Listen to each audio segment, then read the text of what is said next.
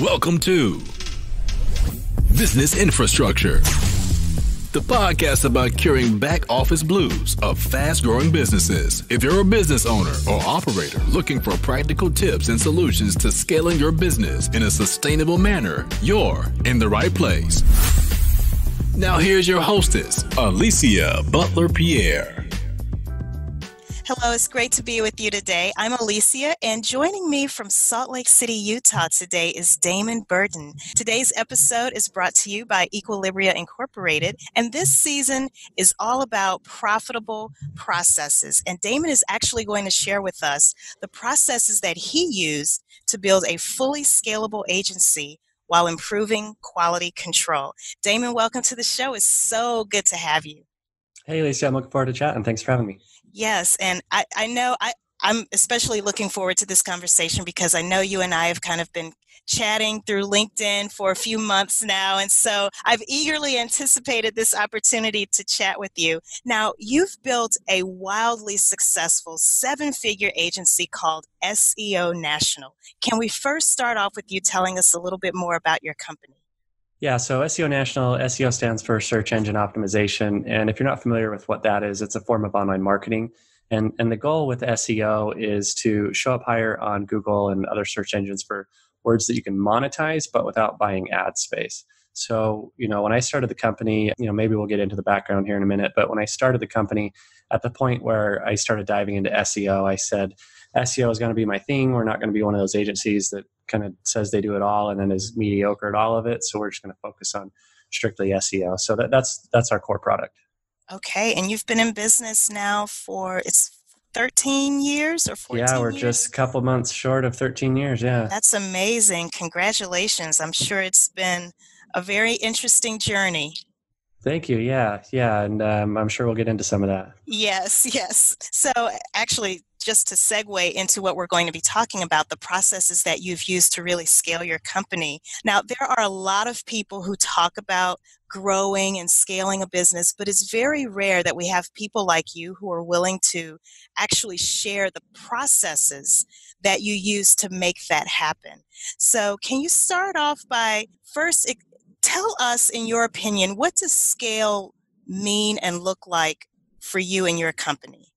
So for me, when I uh, why don't I give you a little bit of backstory of, of where I really started to dive into scaling and documenting processes.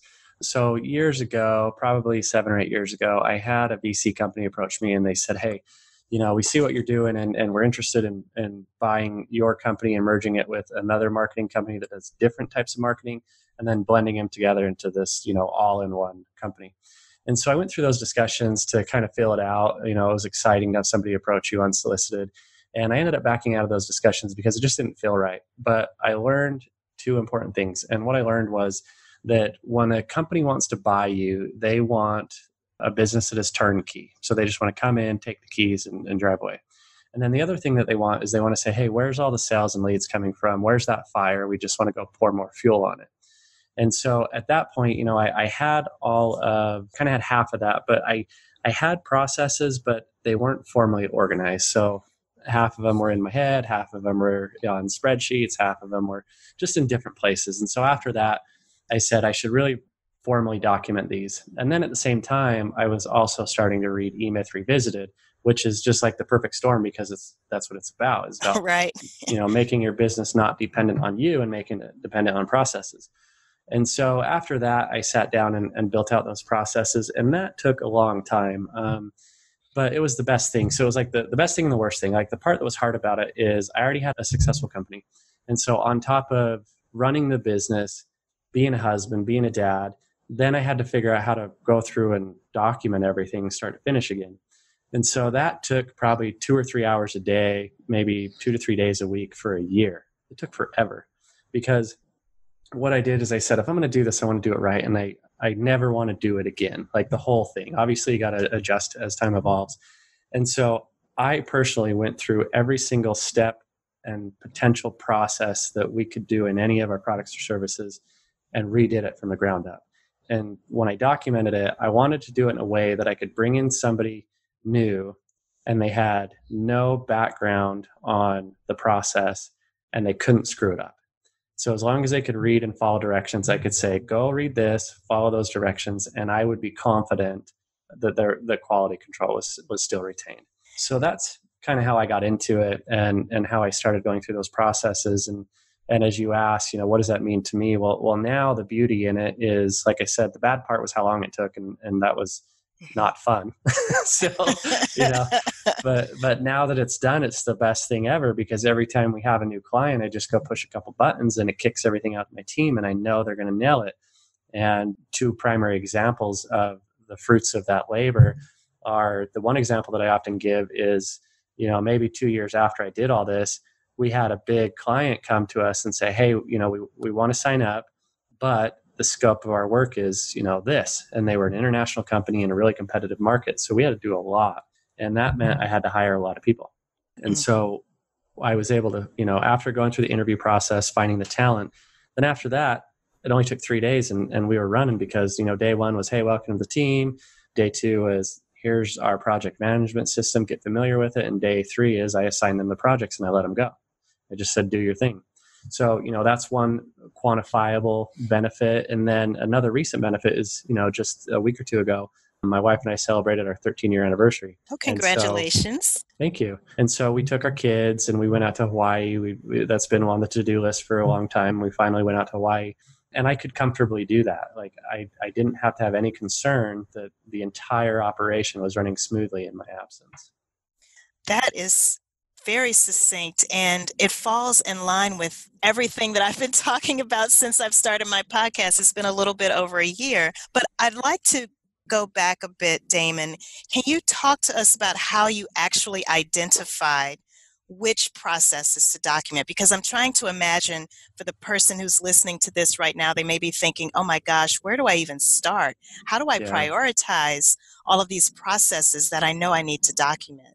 Yeah, so it'll vary a little bit by industry. So uh, the abstract way you can start is exactly what you said. You know, where do I start? Well, what are you doing that day? So literally anytime you're doing anything, especially if you're ever going to do that thing again.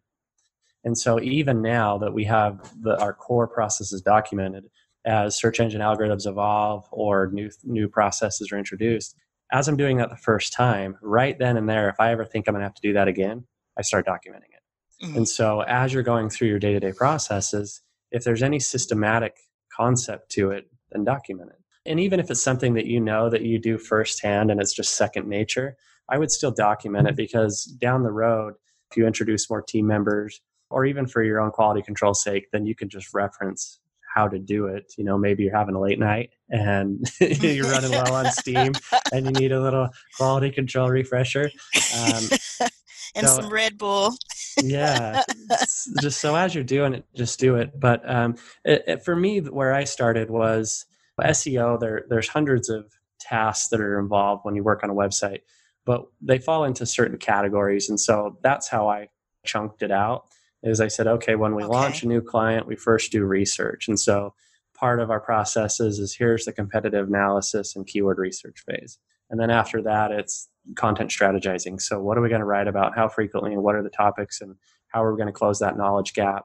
So, I documented how we come up with a content calendar. And then, what's the reoccurring process for us?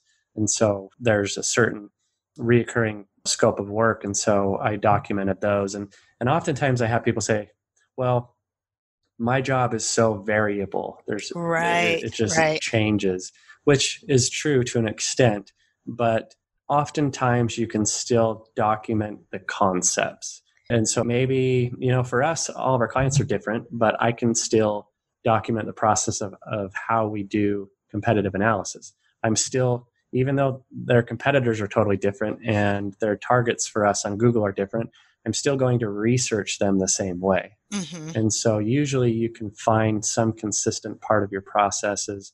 And as far into this game as I am, I still every once in a while go, okay, I got these couple new things and and I I don't know how to process them, and then I kick myself and I go, of course you can. Just like don't rush into it, sit on it for a day or two, figure it out, and you know just wait and and you'll just let it run through your mind and you'll figure out a way to document it. Now, when you mention documentation, are you writing these processes out in the form of like step by step procedures or are you mapping out flow charts? What does documentation actually look like at your company? So for us, we use a project management system called Insightly. And within Insightly, you have what's called activity sets and then projects. So what the activity sets are is kind of like I said, the chunked phases. So keyword research might be one activity set. And then within those activity sets, there's individual tasks. And so when I documented it, I went through and created a task that is exactly like you said, step by step. Go to this website, do this, go to this section, click on this, record this information, save it in this file. And then if I say save it in this file, then I create that file for my team and I already have that template saved in Dropbox. So I say, click on this mm-hmm. Dropbox link, clone this file, follow the steps in this task to populate that file. And so you chunk it out for us in those activity sets, and then you assign those activity sets to overall project templates. So for us, we have, you know, we may optimize a website that's a retail client, and then a different project may be for a service based client. And so our project templates in Insightly are identified in that manner. When we board a new client, I go into Insightly and I say, launch a new optimization project for a retail client. And then I select that from our documented processes, and that'll kick out different tasks than if it were a service based client. Interesting. Very interesting. So, do you find that well, sounds like your staff, they're already used to going into this tool, and so they because they're already in the tool, it's very easy for them to just access these processes, right? Because I hear a lot mm-hmm. of people, oftentimes another concern is, okay, well, we'll go through the trouble of documenting these processes, but then it just kind of sits on the proverbial shelf and collects dust because no one's actually reading the process. But it sounds like that is that a challenge for you all or or no? Not in our case because our services are, you know, technology based. I could see that being a bigger issue for a physical labor job where you have to go read the documentation and reading that is separate than actually doing. And so right. for us, it's kind of one and the same because when they log in, it says, go to this website. So they have to go to that website to complete okay. the project. It's not like in maybe a warehouse where it says, find this product and move it over there. A lot of the, the move it over there in this safe manner. The warehouse laborers might just know to go grab the product and move it, but they they might not follow the safety procedures during that movement. So, in, in keeping in line with business infrastructure, since obviously that's what this show is about, for those who are listening for the first time, business infrastructure is simply just a system for linking your people, your processes, and your tools so that your company can grow in a profitable and sustainable way. And so, what Damon is speaking about is all of these processes that he's identified, he's documented using this tool called Insightly. So, Damon, are there other people within your team now that actually also document processes? Are there yeah, a few uh, key people who are responsible for doing that? Yeah, it depends on their on their individual tasks and responsibilities. So my team is largely hired based on their skill set. So I hire obviously we cross train and, and most people are aware of the benefits of that but i tend to hire based on one or two skill sets because i want my team to enjoy what they're doing. And so i'll usually as i'm as i'm interviewing potential candidates i'll say hey not only what are you good at but what do you like doing? And that may be something mm. totally different than what they're good at and so I try and task them based on what they like and they're good at. And so for that reason, my team tends to work on um, very specific scopes of tasks. And so as those types of new projects come into our environment, then I will task the, the most relevant team member. Um, I actually just got back some some documentation today from one of my team members because you know Google came out with with a new option for webmasters. Um, I won't bore you with what it is, but I said, hey, so this was most applicable to one of my team members named Sheila. And so I said, hey, Sheila, here's this link. Go read this new thing from Google. Here's what I would like to understand about it. Can you provide me back the documentation of how we do that thing? And so I said, I'll give you two or three days to figure it out. And then she came back and she gave me a, a screencast video. And I said, great. Oh, that's awesome. Yeah. And so then I said, after I watched the video, I said, that makes sense. That's, this is what I wanted. Now, can you also reproduce that in a text format so I can put it in Insightly? Ah, I'm glad you mentioned screencast because another thing that I tell people is they get flustered at the thought of having to actually type something out. And I tell them just do a quick video if you can get away with doing a video. And it's, it's a lot easier sometimes to update a video than it is to update a, a very bulky manual, for example. So I love that you said that. Yeah, I think that that will also vary because, like you said, video is way easier. But I think you probably want to that decision should be based on the length of time the video is going to take to create. If it's like a 30 second thing, then yeah, do videos. A lot of our stuff is, kind of a mix. Some of the documentation is very lengthy. And so if I was to convert that documentation into a video, it might be a video that takes me a half an hour to recreate just to change like one bullet point halfway down. So in that case, it doesn't make sense to do a video because I could just go in and change that one line in the text. So it depends. I think they're both valuable. And sometimes what I'll do is is I'll do both. I'll do the text-based documentation and then at the end I'll say click here for an example. And then they can go watch it if it's more complex and actually see the process. Now, as Sheila captured the video, did she just use some type of transcribing or transcription software to convert it into a text file? You know, I don't know. I just I just messaged her back and I said, "Hey, can you give me a text version?" And, and she just gave me a text version. Okay. Well, for those listening, that's also an option if you don't want to have to actually type everything out. Let's take a quick break to hear a word from our sponsor. When we come back, Damon, I'd love for you to offer some advice to those who are listening and they're, they're still maybe thinking this is such a daunting task to offer any advice that you might have. Equilibria Incorporated is an operations management consulting firm offering products and services to help fast growing small businesses scale with less pain. Visit eqbsystems.com for more information. And we are back with Damon Burton. Damon, you were describing to us your process for how you've scaled your company, SEO National, into a seven figure business. What advice would you offer to those who are listening right now who are still thinking, gosh, you know, I'm listening to Damon, it sounds great. I know that it's going to take time to get it done, but I just can't seem to get myself motivated, or where can I even go to for help to get my processes documented? I would just say just start anywhere because uh, one thing that I found interesting about going through that process is that it becomes exciting, at least for me, because then I could start to see the, the results and the potential results. And so it almost became addictive. And, and I think that's part of why now, um, anytime I have a new new task I'm working on, if I realize I'll do that again, that I go ahead and start documenting it because I now I actually enjoy the process just because I've, I've been able to quantify those benefits. So I think once you start, it'll start to make more sense. And then, probably more importantly, you'll realize that it, it's not as daunting that you think. It's definitely more of a mental game but i mean you are the expert already. So it's not like you need to go figure out how to do what you're trying to do. You just need to figure out your best method to document it. And so for me i took a while. As i started documenting it i, I just started in you know word docs just to, to get the concepts figured out of how mm-hmm. i was going to structure this documentation and then after i realized okay i need I'm going to need these type of features in a CRM or a project management system. So for example, I needed the ability to have the CRM to have reoccurring tasks. So some of these tasks are, are not part of a, a, greater project. Some of them are just individual reoccurring tasks for a client. And they just do that. We just need to do that one thing and we need to do it every quarter or once a year. And it isn't dependent on other things. And so I didn't want to have to set a calendar reminder to go in and assign this one off task and so as I looked at project management systems, I had to make sure that it had the ability to add reoccurring tasks. So start somewhere, start figuring out what you'll potentially need in your CRM features, and then go play around with CRMs. A lot of them will give you free trials. And then once you start looking into paid models, there's a huge difference in the prices. You know, when I started with Insightly, one of the deciding factors wasn't that it was free for a single user, but that was a nice advantage. And so for a lot of the listeners, if you're just running solo, then find something that's free. And then as you begin to scale, a lot of these will scale with you and, ha- and give you price discounts based on the users. But, you know, for example, Insightly, a, a paid user is 10 or 15 bucks. But then if you compare that to, gosh, I don't even know, Salesforce. Salesforce, um, yeah. Yeah, you could end up being hundreds of dollars. Right.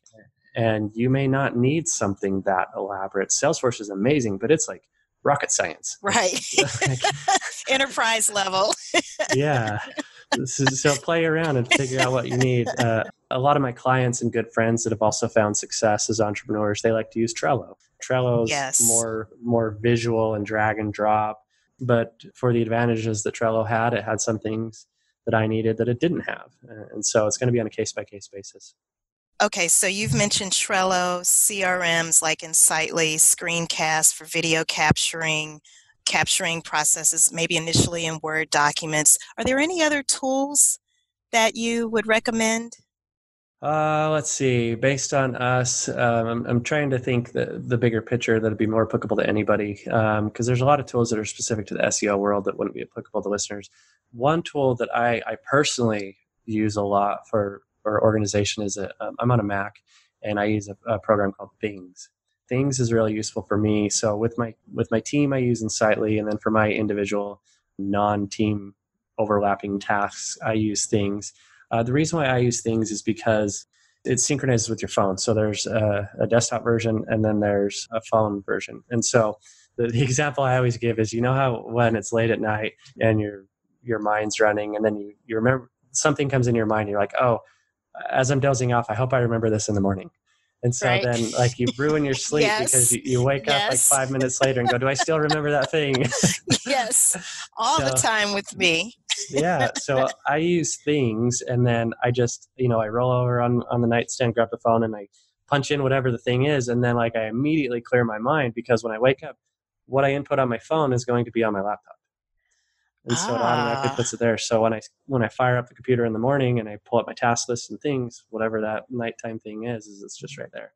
So things has been really useful, and then um, I actually really have one cool. other. There's one other good app. So a lot of people are really surprised at how I balance my time, and what I mean by that is is I've been married for 13 years. Um, I have three kids, and so I'm a huge family guy, and I schedule my time accordingly. I'll give you a couple examples. So, 8:20 ish a.m. to 9 a.m. I block off my calendar. So if it's a, a nice warm day, I can walk my kids to school, and then I do the same thing at you know 3:20 to 4 o'clock, so I can walk them home. And I connect my calendar to a, a scheduling system called Acuity, and I think it's the same one. Yes, yes, yes. Yeah. I love Acuity. Yeah. So on Acuity, uh, it pulls that time block for my calendar. So my clients cannot, I have these time blocks where like that's family time. And so you can really systematize your availability instead of having to go, oh, I can't, you know, an appointment comes in and then you go, oh, shoot, you know, my kid has a soccer game or an assembly. And then now, now you're in that awkward, uncomfortable position where you either miss out on a kid's thing or you have to tell a client like, uh, hey, I need to reschedule. So you can really systematize that with, without even having to have that awkward proactively preventing those scenarios. The other app that we use is my team is all decentralized. We don't have a physical office anymore. And so we use a VoIP phone system called 8x8. It's just the number 8x8. And the reason why I like 8x8 is because we can have the physical desktop lines that are connected to the internet, but I can still hit, you know, extension 2 and page my team and call them as if we're in a physical office. Hmm. But the better part about 8x8 is they have phone app. And so where this blends into me bringing up family is if I want to sneak out and go grab lunch with my kid in the middle of the day, but I still want to be available for the family reasons mentioned, I don't give out my cell phone number. And so 8x8 has an app that connects to your desktop phone. And so if the clients call in, I can answer it on my cell phone as if it were the office line but then I can also call out from my cell phone without exposing nice. my cell phone number. Mm. And so then you can set automatic rules on there that says calls are only allowed to come through between 8 a.m. and 5 p.m. Turn them off on the weekends, whatever whatever works for you to like have that separation that you need to stay focused. You can systematize that. How long would you say it took you to truly scale your company? So you've you've identified the processes, you started documenting them, you started hiring more and more people, training them on the processes, landing larger clients. How much time lapsed would you say before you truly scaled? Was it a year, maybe 2 to 3 years? It was more than that. No, cuz when I first started my company, I was 23, 24, something like that. And so I was really young and uh, it was just cool to be self-employed. So for the first year or two i was just kind of riding that high of, of hey I, I accomplished something and i'm self-employed. And and it and it, it was satisfactory. And so probably closer to the two year mark i said hey i got a good thing going here. We're getting good results. And i had systems in my head but since it was a one-man show i really didn't need to document them at that point. And then i said i should probably do something with this. And so that's when it first got into my mind where, hey, I should turn this into a company company, not just you know, and it, it, it, it was registered with the state and the IRS and all that, but it was just a one man show. So it probably went two two phases. So that was kind of like the first phase was that realization, like, hey, I should do something with this. And then the second was, well, I guess, three phases. The second phase was maybe at the year four mark. I was listening to E Myth Revisited on Audible, or not E Myth, um, Four Hour Work Week by Tim Ferriss. And a lot of that stuff was common sense or I had already kind of been exposed to. But the one thing that I really took away from that book was at that time I had one virtual assistant, one VA. And when I was done listening to that book, I said, why do I only have one? And so mm. within two to three months after that, I had, I think, four or five. Oh, wow. And so I really started to go, okay, what reoccurring things and tasks can I comfortably assign to somebody else? And so that's when I started to get into scaling and then the, the loose concept of documentation. And then that third phase was the story I told you about the VC investors. And that's really when I went all in. And that was probably about the year six or seven mark. Okay. Do you know roughly how many processes you all have now? Holy crap, yeah. Uh... Just to give some context here so that those who are listening can know, you know, and obviously the number varies depending on the company and the industry that you're in, but just just so that people can have some type of an idea of what they may be looking at. We have around 250 documented tasks. And then those tasks are grouped into probably 50 to 60 activity sets and then those activity sets are lumped together with probably 20 different types of projects that we can launch. Okay. So, an example of, of projects for us is we may have a client that is in a retail industry that runs on a WordPress website. And so, if they use WordPress for their backend, we integrate different plugins and feature enhancements. Then we may have a retail client that is on Shopify, so totally different backend. So we have to do things differently. We take those same concepts. So here's a good example of things being diverse. But regardless of the different backends, we still have to improve the page speed. So we go to the same places to identify, you know, we use the same tools to identify what is tripping up the page speed and how can we improve it. And then depending on those results, we go into the backend and adjust it accordingly in different ways. But then we may have a non e commerce client that is on WordPress. And so then we do these different things and we don't go through the updating the e-commerce component because it doesn't exist. So that's an example of, of the different projects we launch. And then the activity sets within those, you know, the page speed might be one activity set, the keyword research is a different activity set. So we segment them all into very clear chunks of, of responsibilities. I like the way you describe that because it also speaks to the fact that there's no one right way to do processes in terms of documenting them and how you store them. It's really all about making sure that people know how to do their work, right? And that yeah. the results are consistent, whether you do the work, whether Sheila does the work, or someone else on your team. As long as the output is consistent and the quality and the value is still there, that's what really matters at the end of the day. Exactly. Yeah. The, yeah. You, you nailed the word quality control. That was my main goal was to feel comfortable tasking other people responsibilities and maintaining that quality control. Yeah. Now, unfortunately, we've come to the end. There's so many more things that I would like to ask you, but unfortunately, I can't. How can people get in touch with you, Damon? Yeah, I appreciate that. So SEOnational.com is my company website. I often blog about entrepreneurial life at damonburton.com. And if SEO is is something of benefit, I have a free Facebook group. It's not a funnel. I'm not sneaking a sell squeeze out of you. If you go to way if, if you go to ways to rank.com slash Facebook, it'll redirect you to that Facebook group. Okay. Can you repeat that? Ways to rank dot com dot com slash Facebook. And okay. then and then that'll take you to the long Facebook URL. It'll redirect you. Okay. Awesome. And for those listening, you definitely want to, to follow Damon. He has his clientele includes several Inc. 5000 companies. He's worked with different NBA teams. He's also worked with several businesses that have been featured on Shark Tank. He's a highly sought after speaker and consultant. So definitely make sure you reach out to him. Damon, thank you so much for being on the uh, show today. Okay, Now, Damon talked to us about the processes that he used to scale his company over several years and how it led him to building his seven figure empire known as SEO National. He started out with just figuring out what processes do I need to identify? And the best way to do that, that he suggested, is that you take a look at the things that you're currently working on, especially if it's tasks that you are repeatedly performing. That's a great place to start in documenting your processes. Next, just actually document it even if something is second nature to you, you have to keep in mind that the people who are coming after you, i.e., the people that you will be hiring, it may be their first time doing something. And so you want to write at a level of detail such that that person can perform that process without having to rely on your day to day assistance. Another thing that I love that Damon said is that you want to figure out how to categorize the tasks and different activities that you perform in your company.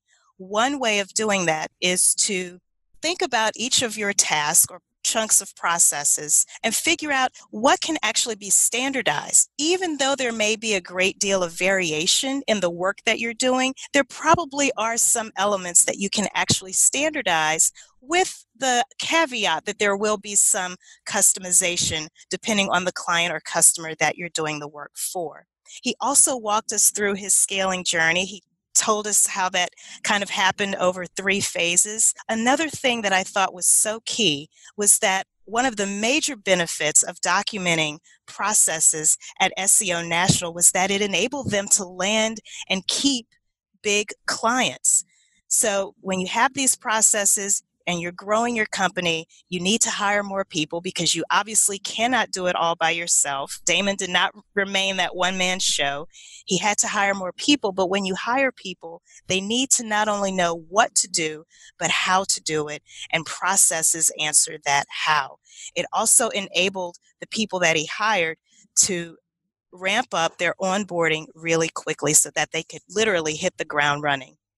Another thing that he shared with us were several different types of tools. We'll make sure that we have access to the links to all of those resources in the show notes at businessinfrastructure.tv. I definitely recommend again that you contact Damon. The best way to do that is on his website, seonational.com. Again, that's S E O national.com. You can also find him at Damon burton.com. That's D like dog, A M like money, O N like Nancy, B like boy, you are T like Tom, O N.com. Just in case people don't understand me, Damon. and like money. I'm going to start using that.